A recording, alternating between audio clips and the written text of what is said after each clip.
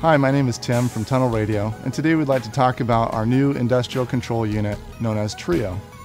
Trio is a simple industrial control unit that can be used to remotely control fans, pumps, or other electrical devices underground. It operates over a VHF or UHF leaky feeder system, or even a TCP IP network. It's not designed to be a full PLC system, so no knowledge of SCADA or PLC programming is required. The board itself, there are six inputs and four outputs. Once an electrician hooks those up appropriately and applies power, the Minac software will be able to easily identify the new device.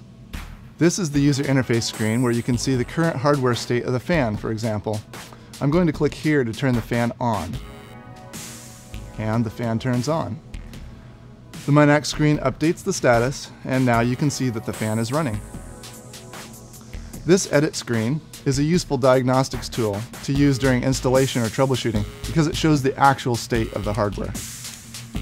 As you can see, Trio is easy to install, simple to use, and versatile. Visit us at tunnelradio.com to learn more and subscribe to our email list.